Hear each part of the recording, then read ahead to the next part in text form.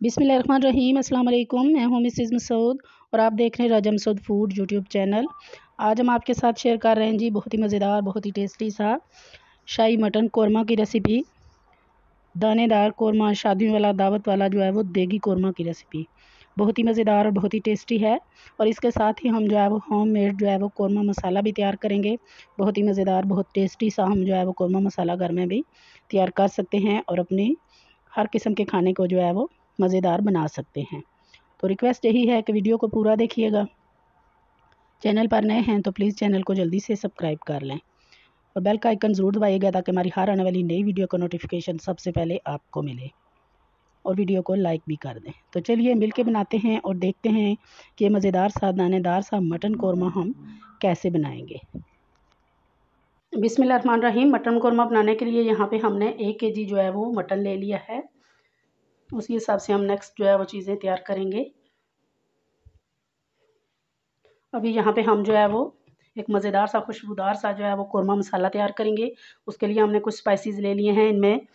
एक चम्मच भरकर जो है वो ज़ीरा है, एक चम्मच भरकर साबुत धनिया है हाफ़ चम्मच जो है हमारे पास साबुत काली मिर्च है, दो छोटे जो है वो स्टार अनीस हैं, चार सब्ज़ इलाचियाँ हैं, पाँच से सात लौंग हैं, दो इंच जो है वो दालचीनी है, दो काली बड़ी इलाची हैं और चार अदद सुरख सूखी हुई मिर्चें हैं और हाफ़ जायफल है। तोड़कर उसका बॉल तो हमने उसमें से जो निकाला उसमें से हाफ़ हमने लिया उसका जो सीड होता है अंदर और ये थोड़ा सा जो है वो जावत्री के फूल हैं। तो इन सारों को हम मिक्स करेंगे और इनको एक जो है वो खुशबूदार सा इसका पाउडर जो है वो तैयार कर लेंगे।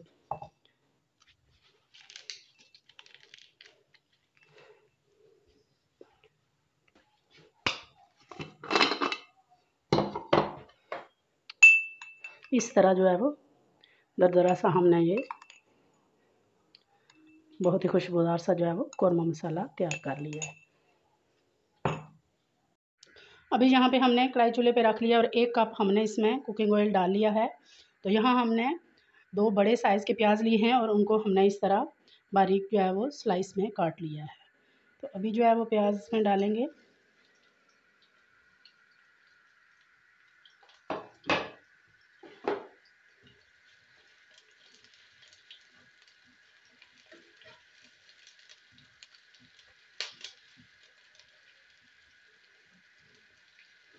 यहाँ प्याज को हमने खूबसूरत सा गोल्डन ब्राउन होने तक हमने जो है वो इसको फ्राई कर लेना है। प्याज यहाँ पे हमारा बहुत अच्छी तरह खूबसूरत सा जो है वो गोल्डन कलर आ चुका है इसको।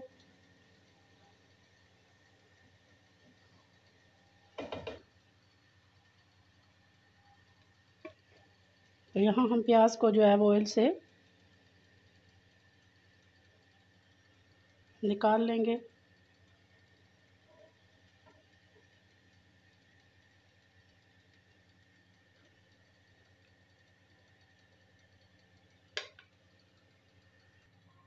अभी यहाँ मेरे पास जो है वो, ये प्याज हमने जो ब्राउन किया वो है। हाफ़ कप हमारे पास दही है, दो चम्मच हमारे पास जो है वो कोकोनट पाउडर है और एक चम्मच हमारे पास ये चार मगज़ हैं। इन सारी चीज़ों को, दही को, प्याज को और कोकोनट और चार मगज़ को मिलाकर हम अच्छा सा इसका जो है वो ग्राइंडर में पेस्ट बना लेंगे।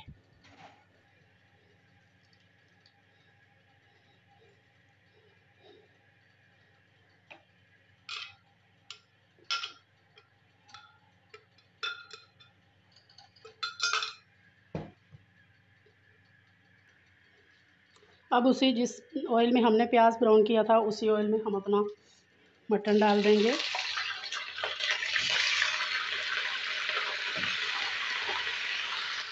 मटन का कलर वाइट होने तक जो है वो इसको हमने फ्राई करना है कलर चेंज होने तक।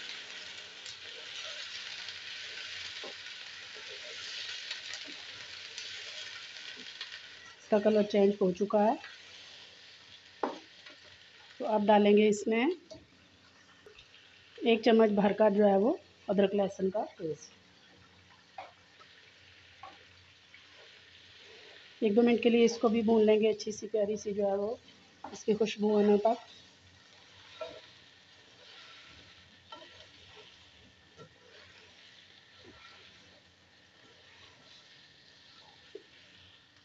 अदरक लहसुन के पेस्ट के साथ हमने भून लिया इसको, तकरीबन दो से तीन मिनट। बहुत प्यारी खुशबू आना स्टार्ट हो गई है। तो अभी यहाँ हमारे पास हैं कुछ ड्राई जो है वो पाउडर मसाले। सबसे पहले नमक है, सुरख मिर्च पाउडर है, धनिया पाउडर है, मेथी है, कसूरी मेथी और हल्दी है और गरम मसाला पाउडर है और यहाँ पे ये कश्मीरी लाल मिर्च है, एक चम्मच। ये सारे मसाले इसमें जाएँगे। और इसके साथ जो हमने ये कौरमा मसाला तैयार किया है, ये एक चम्मच भरकर हम इसमें डाल देंगे। तमाम मसालों के साथ हम जो है वो अच्छी तरह पाँच से सात मिनट जो है वो को भून लेंगे। अभी यहाँ पे अच्छी तरह तमाम मसालों के साथ हमने मटन को जो है वो भून लिया है। अभी हम इसमें डालेंगे पानी।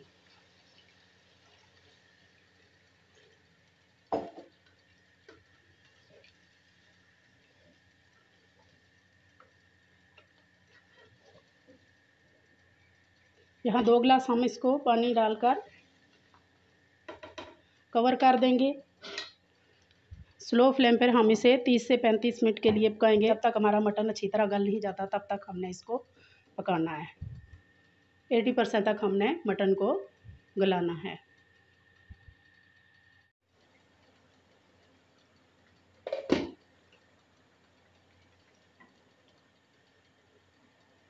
तकरीबन 25 से 30 मिनट हो चुके हैं स्लो फ्लेम पे से पकते हुए हमारा मटन अच्छी तरह गल चुका है। लेकिन पानी अभी भी इसमें है तो यहाँ पे हम चूल्हे की फ्लेम जो है वो तेज़ करेंगे।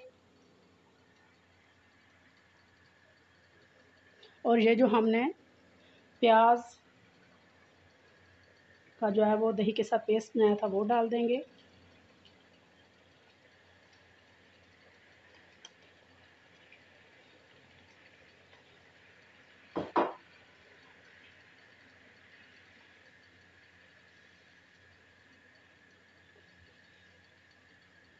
और तेज़ फ्लेम पे इसे अच्छी तरह जो है वो हम पकाते रहेंगे जब तक पानी ड्राई नहीं हो जाता।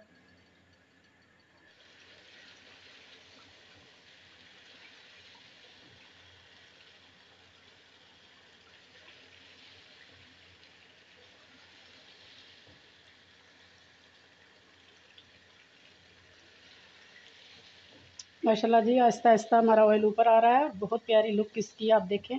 इसका टेक्सचर आप चेक करें। कैसे दानेदार, बिल्कुल शादियों की तरह जो है वो। जैसे आप शादी पे देगी जो है वो, मटर कौरमा खाते हैं, बिल्कुल वैसा दानेदार जो है वो, हमारा कौरमा तैयार हो रहा है। अभी हम कुछ देर और इसे पकाएँगे यहाँ पे। ये भी आप अपनी मर्ज़ी के हिसाब से रख सकते हैं। बहुत प्यारे जो है वो लुक इसकी आ रही है। बहुत प्यारा जो है वो कलर आ रहा है। खुशबुएँ तो माशाल्लाह से। बहुत प्यारी आ रही हैं।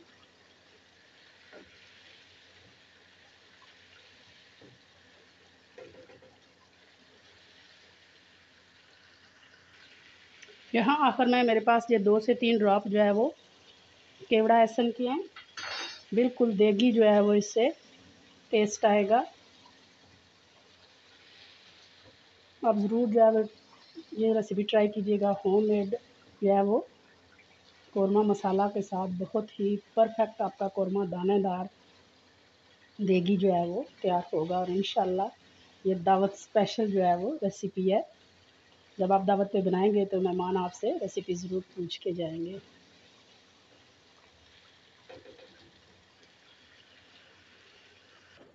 तो यहाँ पे हमारा कौरमा जो है बिल्कुल तैयार है। इसे चूल्हे की फ्लेम बंद करेंगे और दो एक मिनट के लिए हम दम पर जो है वो बंद करके छोड़ देंगे और फिर इसे फाइनली डिश आउट करते हैं।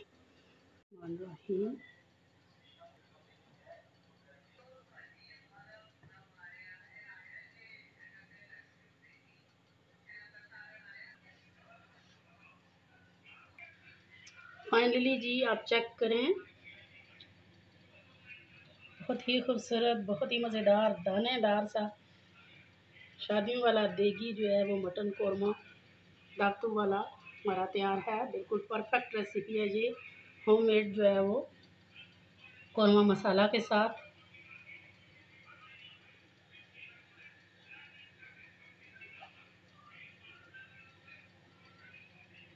आप इसे नान के साथ, रोटी के साथ, पराठे के साथ, चावल के साथ जो है वो इंजॉय करें इन सबको जो है ये रेसिपी बहुत पसंद आएगी। एक दफ़ा आप भी ज़रूर ट्राई कीजिएगा। तो वीडियो पसंद आए प्लीज़ लाइक और शेयर ज़रूर कीजिएगा। चैनल पर नए हैं तो प्लीज़ जाने से पहले चैनल को ज़रूर सब्सक्राइब कर लीजिएगा। अपना बहुत ख्याल रखिएगा, मुझे दो में याद रखिएगा। बहुत शुक्रिया। अल्लाह हाफिज़।